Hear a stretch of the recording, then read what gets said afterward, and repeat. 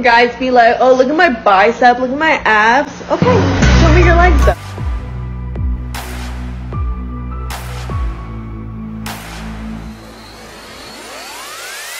What about